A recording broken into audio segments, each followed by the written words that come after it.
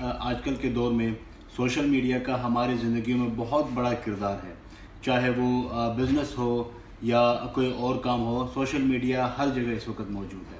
اور social media کا خاص کر اوپینین میکنگ میں اور نیریٹیوز کے پروپگیشن میں بہت بڑا کردار ہے۔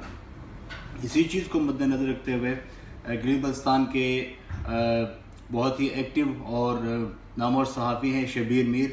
وہ اور ان کی ٹیم نے ایک نیا انوویشن جو ہے نا، ایک کریشن کیا ہے۔ یوٹیوب پہ انہوں نے گلگت ٹی وی کے نام سے ایک چینل جو ہے وہ متعارف کروایا ہے۔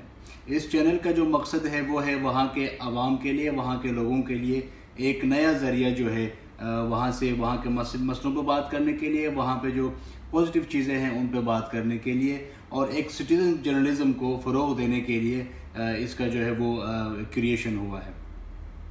ہم سب کو اس چینل کو دیکھنا چاہیے اور میری گزارش بھی ہوگی آپ سب سب سے کہ آپ اس چینل کو ضرور دیکھیں اور اس چینل کو ضرور سبسکرائب کریں۔